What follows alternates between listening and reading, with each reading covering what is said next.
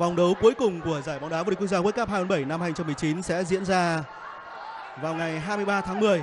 Tất cả các trận đấu đều diễn ra vào lúc 17 giờ.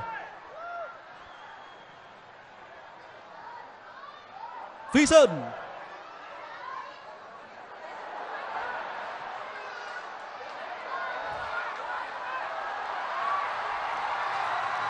phản công cho Hoàng Anh Gia Lai Ngọc Quang Văn Toàn, cơ hội để Văn Toàn ghi bàn thắng thứ 9 của mình. Không được. Vẫn không vào. Rất tiếc cho Hoàng Anh Gia Lai, họ đã có được một cơ hội phản công. Có thể nói là rất rõ nét.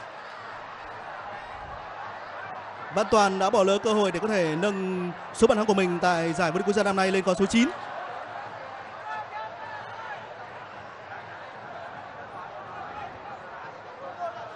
Chúng ta cùng xem lại tình huống này. Văn Toàn đã đối mặt với Thành Diệp, nhưng anh đã không thể thắng được ừ, thủ môn của thành phố Hồ Chí Minh.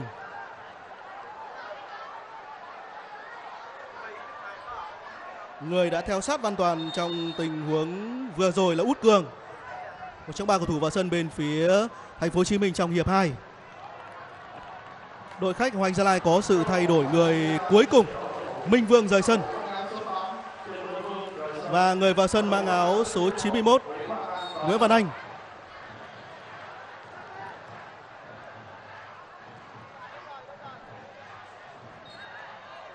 Văn Anh đã ghi bàn thắng trên sân thống nhất ở trận đấu lượt về giữa câu lạc bộ bóng đá Thành phố Hồ Chí Minh và Hoàng Gia Lai tại giải bóng đá vô địch quốc gia năm ngoái.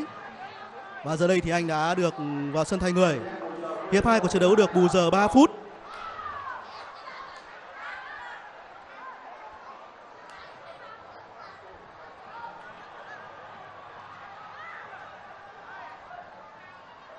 Trên sân Thanh Hóa thì đội chủ nhà vừa có bàn thắng rút ngắn khoảng cách xuống còn 1-3 trước Viettel.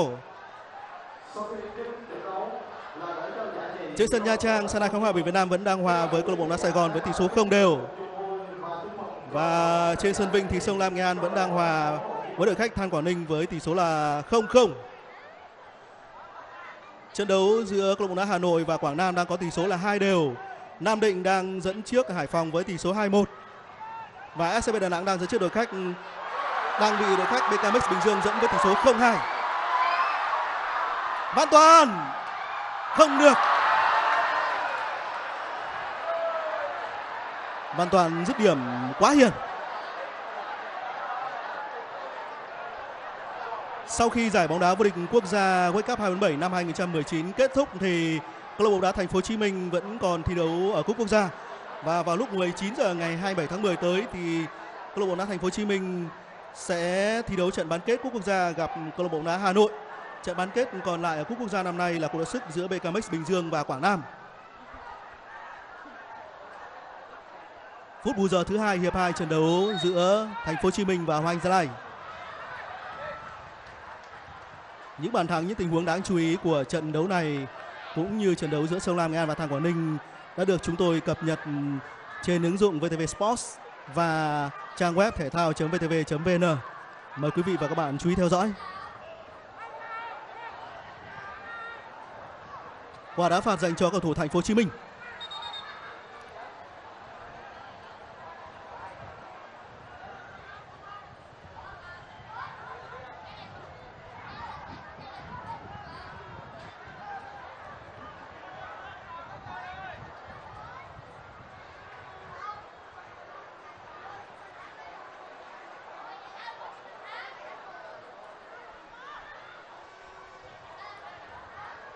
Các thủ chủ nhà thực hiện lại quả đá phạt. phí Sơn, không được. Trọng tài chính Hoàng Ngọc Hà đã nhìn đồng hồ.